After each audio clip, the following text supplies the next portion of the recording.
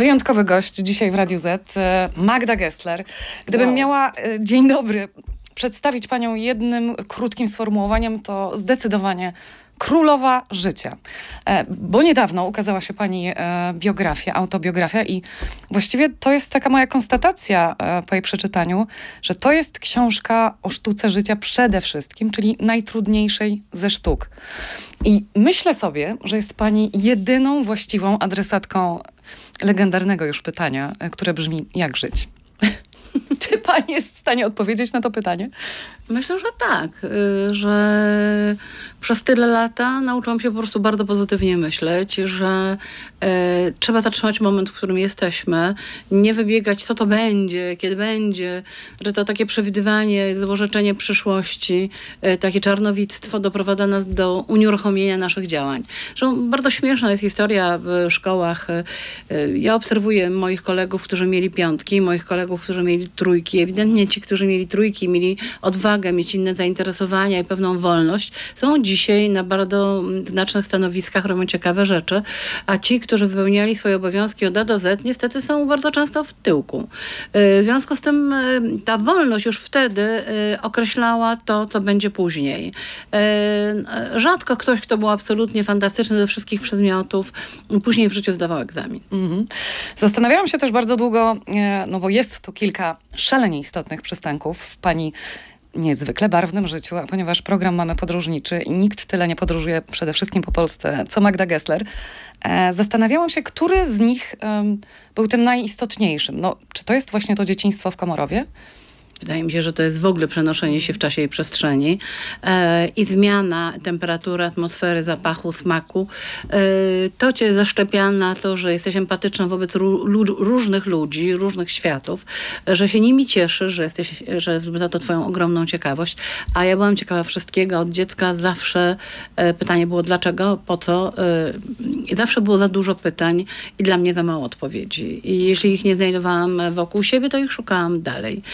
Bardzo często właśnie w Komorowie podróżowałam po całym Komorowie, żeby znaleźć to, co mnie interesuje. Wtedy interesowały mnie grzyby, kwiaty. To był mój świat, w którym mnie wychował mój dziadek. E, smaki, odkrycia smaków 12 zup mlecznych, wybierałam jedną. Ogólnie rzecz biorąc, e, już nie odpuszczałam wtedy. Mhm. E, potem Bułgaria, potem Hawana, Madryt.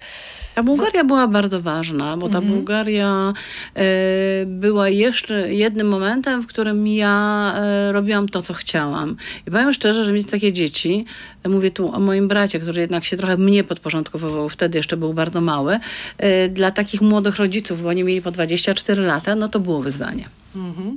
Ale pani nie ma polskiej mentalności. Ja nie wiem w ogóle, co to znaczy polska mentalność. Ja mam mentalność rodziny, która y, pochodziła z różnych stron, drepiła się z różnych światów, y, miała bardzo duże przyzwolenie na różność y, i dużą ciekawość innych ludzi. Także wydaje mi się, że to wychowanie samo w sobie i ta, e, to szczęście, że mogłam być w różnych miejscach, tworzy osobowość, tak? Ale przede wszystkim też rodzice. Mhm. Zdecydowanie. Babcie, e, dziadziusz, o którym już pani wspomniała, no i fantastyczne opiekunki, niańki. I wszyscy mieli jakąś pasję. Dokładnie tak. Zastanawiałam się czytając, kto właściwie najbardziej zdeterminował tę pani miłość do kuchni, do smaku. Było tych osób bardzo dużo. E, Ale można zacząć od Komorowa, od dziadka i od babci ewidentnie i później od mamy, która przejęła to w sposób artystyczny nadzwyczajny. Nie, no, nie znam osoby, która, która miałaby tak nieprawdopodobną wolność e, e, w kuchni, którą przekładała na politykę, przekładała na znakomite artykuły, bo ona była recenzentką tego, co pisał mój ojciec. Była bardzo mądrą kobietą. Utrzymać jednak w tamtych czasach dziennikarza w tym miejscu, w którym był. Wszyscy oczywiście mają jedną odpowiedź, a ja mam jeszcze jeszcze wiele innych odpowiedzi, że jednak ona bardzo dobrze miała miała genialne wyczucie czasu i przestrzeni mhm. i pani, momentu politycznego. Pani mówi o niej często pionierka. No jest nieprawdopodobną, była nieprawdopodobną kobietą. E, wydaje mi się, że ona nauczyła mnie tego, jak pachnie, e, jak pachnieć, jak się ubierać, e, jak podawać, jak czarować, jak być piękną. I w sumie wokół siebie nie miała fryzjerek, manikurzystek ani takich innych kobiet, a zawsze wyglądała jak Marilyn Monroe, a może trochę lepiej. E, I wspomina Pani, że te przyjęcia w Hawanie należały do jednych z najgłośniejszych i bywali e, na nich to samo naprawdę w. Madrycie. E, No, no, wiadomo, że mnie skłoniło do tego, żeby tworzyć jedzenie, przede wszystkim natychmiastowa reakcja osób, które jedzą. Jeśli chodzi o sztukę, zaczęłam sobie zdawać sprawę, że jest tak, to wielka koniunktura, lobbying i tutaj albo trzeba mieć bardzo silne wpływy i zgadzać się z ludźmi, z którymi nie do końca się mogłam zgodzić. Mm, A jeśli chodzi o kuchnię, no to jest taka podstawowa rzecz, że jeśli jest dobry chleb, to jest duża kolejka. To prawda. E, Mam cytat. E, Mama uświadomiła mi, że dzięki dobremu jedzeniu można nawiązywać przyjaźnie i wpływać na uczucia i myśli. Jak pani to rozumie? Można rządzić światem. Właśnie. No pani tak. się to udaje. Znaczy, myślę, że to jest takie bardzo subtelne, bardzo delikatne, bardzo kobiece, Mhm. bardzo fajne. E, Widzicie, jak emocje rosną e, wraz z podawaniem, podawanymi daniami. I zrobiłam to w Fukierze od początku jego istnienia i sukces był natychmiastowy i dla mnie to było już całkowite potwierdzenie tego, że to, co wybrałam jest właściwą drogą. Mhm. Dlatego, że to nie jest tylko jedzenie, to jest dekoracja, zespół ludzi, sposób w jaki mówią, tembr głosu, e, szefowie kuchni, zapach restauracji, wygląd, wystrój, światło. Czyli mam cały teatr, cały renesans w jednym pomieszczeniu. I co wieczór on się zmienia. Dużo bardziej niż spektakl w teatrze. Zdecydowanie. Podobno w różnych e, rozterkach e, na linii serce-rozum i tak ostatecznie decyduje żołądek. E, Słyszałam w jednym z pani wywiadów, że stół, który jest bez wątpienia najważniejszym meblem w każdym domu, powinien być okrągły. Dlaczego? E, Wydaje mi się, że stół powinien być okrągły w momencie, kiedy mamy trochę większą ilość osób, bo jeżeli jesteśmy w domu, to ten kwadratowy stół czy prostokątny nam wystarczy. Ale okrągły stół e, niezbyt duży powoduje jednak, że się słyszymy, widzimy wszyscy i nie ma tego, e, mamy szansę rozmawiać naprzeciwko i obok i okrągły stół zawsze jest przyjaznym stołem. Mhm. A jaki jest największy komplement dla kogoś, kto karmi ludzi? Jaki jest największy komplement No, dla pani? siedem dań od A do Z zjadają, no to wydaje mi się, że to jest komplement. Czy nie trzeba tutaj żadnych słów? Nie powiem, nie powiem, że te dania nie są okrągłe i czasami naprawdę pełne smaków, czyli tłuszczu, yy, czyli, czyli, czyli i śmietany i, i dobrego masła. Ta kuchnia moja, ambasador Belgii ostatnio powiedział, że jest nieprawdopodobnie francuska, mimo że jest polską kuchnią, ale nie zapominajmy, że Francja miała ogromny wpływ na polskie smaki i przed wojną Warszawa była miejscem, które było odwiedziane przez całą Europę, Mhm. jeżeli Zresztą- chodzi o stół. Wielu kucharzy wybitnych, w tym pani, e, częstokroć e, powtarza, że właściwie polska kuchnia ma wszystkie walory, aby być jedną z najlepszych i najbardziej docenianych na świecie. Pytanie, dlaczego to się nie dzieje? Bo my sami siebie nie No lubimy. I sięgamy, e, szczególnie ludzie, którzy przychodzą do Masterchefa, po wizerunki kuchni molekularnej, której kompletnie nie rozumieją. W związku z tym to są czasami bardzo piękne kompozycje bez smaku. A chodzi o to, żeby zacząć od jakiejś podstawy i żeby to miało smak. A to, żeby miało smak, wtedy ma też energię. Jak ma energię, no to też jest bardzo dużo chętnych na tego typu kuchnię. E, I trzeba zacząć po prostu od podstaw. My nie mamy wiary w, te, w to, że Polska jest mm, jednym wielkim furzem kulturalnym, dlatego że przecież przez Polskę przeszło wszystko, co tylko mogło. E, To też uwarunkowało bardzo nasze, nasze charaktery, nasze lęki. Mm, No i pozycję kobiet, która jest nieprawdopodobnie niezachwiana w tym kraju. Niech mówią, co mówią, ale jednak ja uważam, że w Polsce rządzą kobiety. Amen. Amen, chociaż to jeszcze nie koniec naszej rozmowy. E, Pani z pewnością pokazała e, nam Polakom, jak wymagać w restauracji, jak jeść dobrze, jak jeść zdrowo. Zastanawiam się, co pani dają kuchenne rewolucje.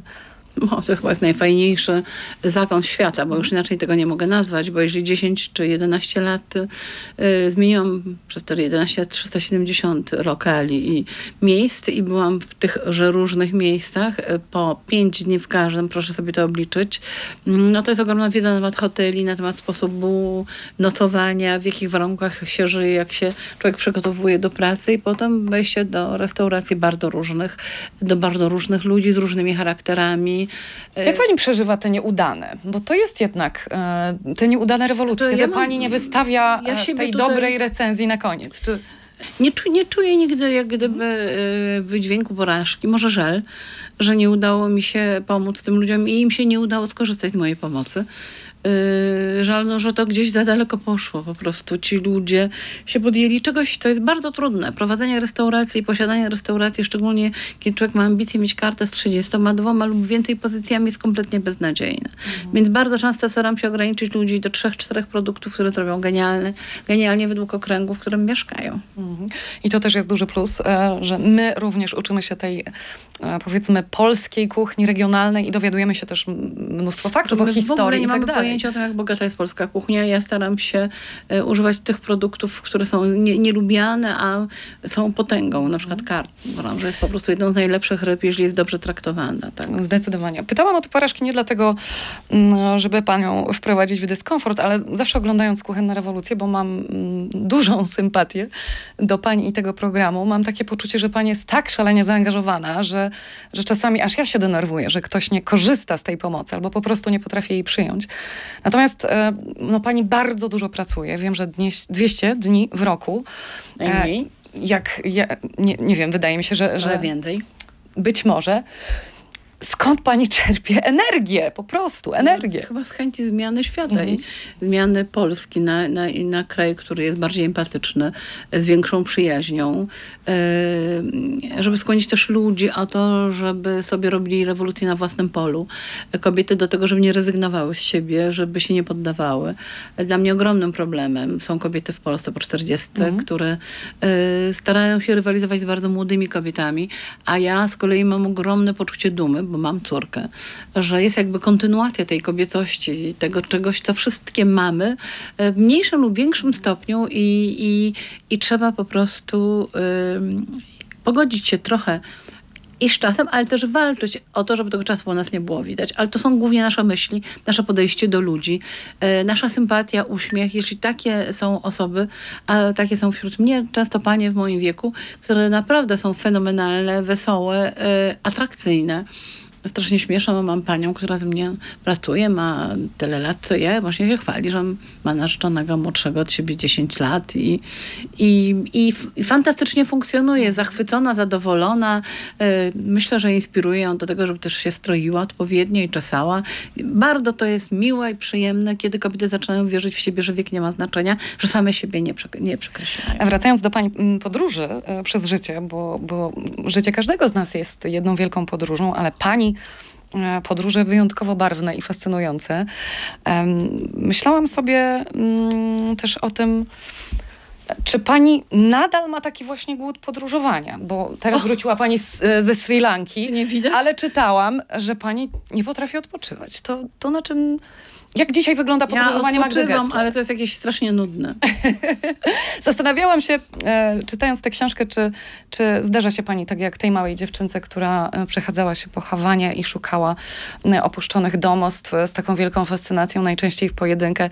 Dzisiaj też tak zwiedzać nowe miejsca, w których pani bywa? No ja e, po prostu mam, e, miałam dosyć duży konflikt z moim mężem, który mm. był bardzo stabilnie zakotwiczony w hotelu.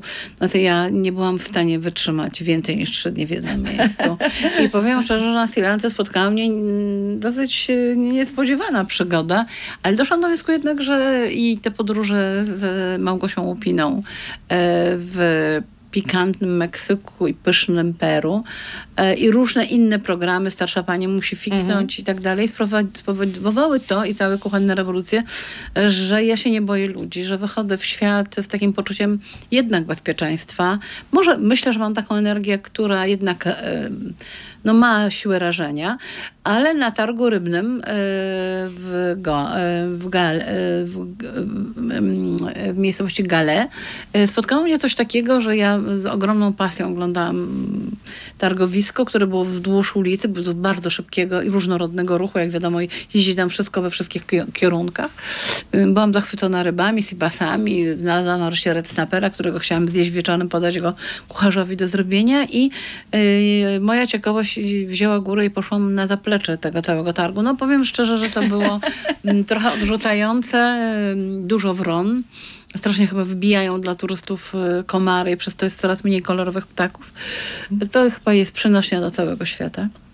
Natomiast y, y, patrzyłam, robiłam zdjęcia, zresztą, które są jak gdyby opublikowane u mnie na Instagramie, ale y, kiedy wracałam, nie mogłam znaleźć męża wzrokiem. Y, bo chyba on starał się odnaleźć taksówkę, która nas przywiozła i y, naprzeciwko mnie spotkałam się z człowiekiem, który miał y, w ręku prawdziwy arabski duży nóż.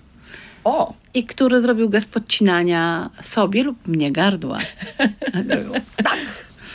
No to ja się uśmiechnęłam, powiedziałam tak, czyli kciuk do góry. Spojrzałam na niego i poszłam dalej. Dlaczego się tak zachowałam, się nie przestraszyłam? E, wydaje mi się, że doświadczenie ojca, który jest dziennikarzem, moje, które też jest paradziennikarskie, ale z kolei przerażenie mojego męża osiągnął e, szczyty, no bo jest spokojniej pachnącej żywicą Kanady. Z pewnością e, Magda Gessler jest niegrzeczna i grzeszna.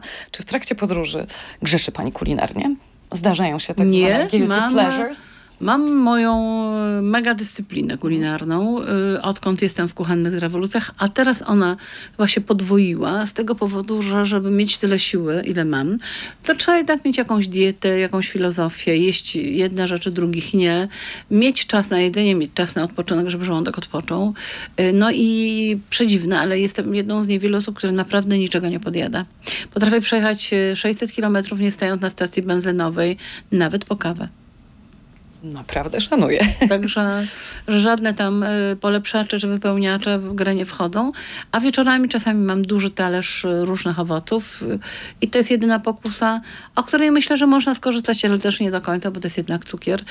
Ale jest ta możliwość, że muszę mieć, żeby powiedzieć nie. Pani smak numer jeden to jaki? Hmm. Jak smakuje Magda Gessler? Hmm, tak naprawdę pomidory. Hmm. Tak myślałam. Na śniadanie? Mm, na śniadanie, na obiad, na kolację.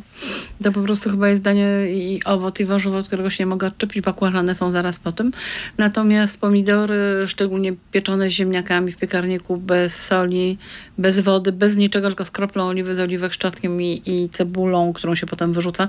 Mm, bardzo ściśle ściśnięte i zamknięte w garku. To jest absolutna małmazja. Potem się to wyjmuje, skrapia się ogromną ilością cytryny, y, dolewa się, dosypuje posypuje się odrobinę soli. Mm -hmm. I to jest takie danie na wieczór, które bardzo uspokaja, no i które daje dużo potasu i jest fajne bardzo. Mm -hmm. Ale też gazpacho, czyli też cały czas wracam ryż ubóstwiam, po prostu ubóstwiam ryż pasjami w każdej formie. Um, to są chyba dania, biały ser polski biały ser zwyczajny. Walczę o to, żeby do sernika zawsze dodawano y, tłusty biały ser, a nie walcowany. No to są takie różne walki o prawdziwą śmietanę 36% bez chemii. Y, walkę o prawdziwe produkty, które tworzą prawdziwą kuchnię i zdrowie. Jedno jest pewne. Magda Gessler jest nienasycona. To jest chyba najlepsze słowo, które... Tak, ciągle jestem głodna i mam apetyt na życie i na miłość i na wszystko. Dlatego liczę mocno na to, że będzie druga część e, tej książki, którą dzisiaj polecamy. Tą książkę napisałam z człowiekiem, który miał być moim doradcą podatkowym. Okazał się e, absolutnie e, artystą i wariatem, bo napisał ze mną tą książkę w różnych okolicznościach i jakoś mu się to udało. Mhm. Był bardzo wytrwały, bo jednak ze mną pisać wcale nie jest prosto, bo ja mam wiele uwag na, na roz, rozbieżność jak gdyby koncentracji. Mm, to jest Dominik Linowski. No i cudowna układka zrobiona przez Szymona Szymankiewicza, czołowego polskiego grafika, którego prawie że zgwałciłam do tego, żeby zaczął malować, a nie tylko prowadzić bardzo ambitne e, plakaty, robić bardzo ambitne plakaty dotyczące sytuacji mm. politycznej w Polsce. Polecamy serdecznie. Zresztą zazdroszczę panu Dominikowi, bo wiem, że on e, był w tych wszystkich miejscach e, z panią, był w podróży z Magdą. No, powiem Gessler. szczerze, że była to duża przygoda, bo on się urodził tego samego dnia co ja, więc naprawdę wrażliwość bardzo podobna. Mm. Polecamy biografię, autobiografię Magdy Druga Gessler. część będzie i film mm. będzie. O, nie możemy się doczekać. I wszyscy sobie życzymy, abyśmy oglądali i czytali te pozycje z wypiekami na twarzy twarzy, bo to będzie oznaczać, że pani dalej będzie kontynuować tą fascynującą przygodę. No i będę piekła i piekła. Tego się trzymajmy. Bardzo dziękuję. Dziękuję bardzo. Magda Gessler. Dziękuję. Magda Gessler. Dziękuję Państwu bardzo. Dziękuję Radio Z.